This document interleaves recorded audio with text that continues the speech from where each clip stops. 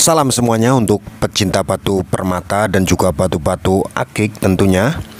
Jadi kali ini seperti biasa ini ada teman kita seorang TKW yang lagi ada di Taiwan teman-teman. Nah untuk batu-batu yang di Taiwan ini kebanyakan memang batu giok. Jadi kali ini coba untuk uh, ngevlog di salah satu pasar batu terutama ini batu-batu giok. Nah di sini kalian juga perhatikan ini banyak sekali gelang-gelangnya. Ini harga-harga grosir ya di sini teman-teman. Buat grosiran bisa, beli satuan juga bisa. Nah selain gelang juga eh, berbagai macam jenis liontin. Kemudian juga uh, apa ini gelang-gelang yang masih bentuk utuh ataupun gelang yang model bijian. Jadi banyak sekali untuk model gelangnya. Tapi kita bukan nyari gelang-gelang ataupun nyari liontin, tapi kita nyari batu cincin, batu akik Nah ini kemudian juga ada bentuknya sebenarnya ini aneh-aneh loh Berbagai macam bentuk Tapi kita nyari cincinnya coba ya Ini kalau sudah di sini memang ini bikin bingung teman-teman. Kalau kalian sudah di sini ini bikin bingung. Nah ini cincinnya seperti ini. Jadi bukan hanya mata cincin Tapi ini semuanya ini terbuat dari langsung dari batu. Nah jadi batu langsung dibentuk seperti ini. Nah ini dingin sekali kalau dipegang. Jadi ini langsung nyentuh ke kulit ya. Untuk kesehatan ini bagus sekali untuk jenis-jenis siok seperti ini ringnya juga dari batu giok langsung jadi langsung menyentuh ke kulit. Nah kemudian untuk yang di sisi lainnya di bagian utaranya ini juga sama masih lapak batu giok juga. Cuma kalau yang di sini ini batu kerikil-kerikil teman-teman. Jadi batu bongkahan yang sudah kerikil-kerikil ataupun bekas-bekas entah itu bekas uh, bentuk habis bentuk gelang ataupun bekas habis potongan-potongan. Jadi potelan-potelannya itu di sini dijual. Jadi yang namanya batu giok itu nggak ada yang dibuang teman-teman, nggak ada yang terbuang. Bahkan peritilan peritilannya saja ini masih laku di sini. Nah kalian perhatikan sendiri tapi ini tertarik nih coba lihat dengan patungnya ini patung apa ini ada patung yang unik ini ini naga. Naga apa ini teman-teman? Killing kalau nggak salah ya. Atau hanya sekedar naga-naga biasa. Nah ini yang sudah dibentuk-bentuk. Tapi kalau di sini yang model seperti ini tidak begitu banyak.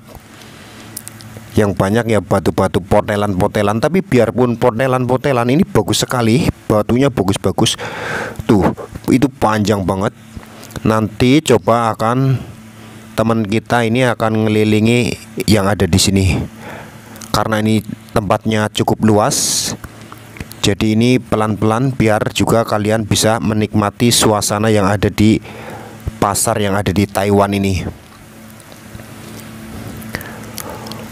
Nah ini perhatikan ini yang sudah dipotong-potong. Ini padahal cuma dipotong doang teman-teman. Tidak dipoles, cuma dipotong tapi potongannya itu udah halus banget Nah ini hebatnya batu giok seperti itu. Nah seperti ini nih, padahal cuma dipotong doang. Belum dipoles pakai serbuk intan Ataupun pakai amplas halus tapi sudah mengkilap. Ini luar biasa. Ini kayak apem. Apa sih ini? Kayak wajik ya bentuknya ya. Ini kotak-kotak. Banyak banget. Coba kita pelan-pelan geser ke lapak-lapak yang ada di sebelah karena ini juga sebenarnya bentuknya ternyata macam-macam teman-teman bahkan di sini juga ternyata ada gelang juga yang sudah jadi tapi memang tidak banyak tidak sebanyak yang di pasar sebelumnya kalau yang di sini memang didominasi batu pocelan-pocelan ya Nah, ini hijau-hijau banget ini gioknya. Ini hijau atau hitam ini? Nah ini yang di sebelah juga tidak kalah bagusnya. Kalau ini udah jadi nih teman-teman. Lapaknya emang kecil-kecil tidak banyak sih. Jadi dia tuh gelar tikar satu tikar cuma berapa batu satu tikar berapa batu gitu. Cuma karena pedagangnya saking banyaknya jadi kelihatannya sangat luas. Nah ini giok yang sudah dipotong jadi bukan berbentuk bongkahan yang masih utuh itu bukan teman-teman. Jadi memang sengaja ini dipotong-potong seperti ini. Mungkin tujuannya itu agar e, ringan kali ya. Kalau masih bongkahan kemungkinan terlalu berat dan juga kemungkinan mahal. Jadi kalau dipocel-pocel kan jadi agak ringan. Nah ini giok hitam. Ini luar biasa ini giok hitamnya bagus banget. Ini full hitam ya perhatikan ini hitam nih gioknya nih. Ya kan? Full hitam nih luar biasa ini. Giok hitamnya.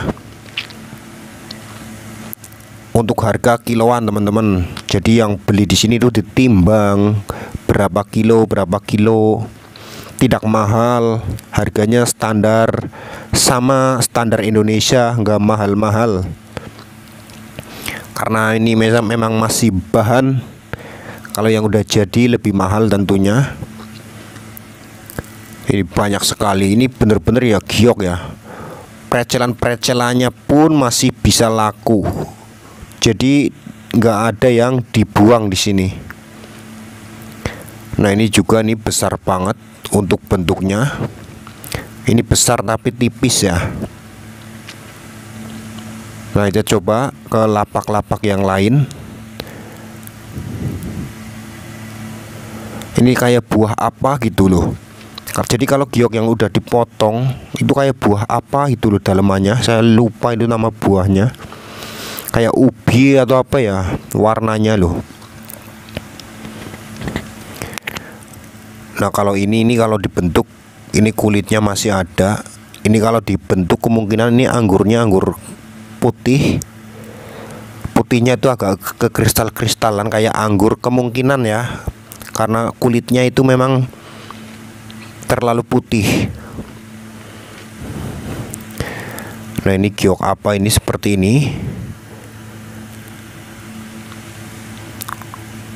Ini padahal satu pasangan tapi ini dibelah dua dijadiin dua. Saya juga kurang paham ini yang seperti ini maksudnya apa gitu ya.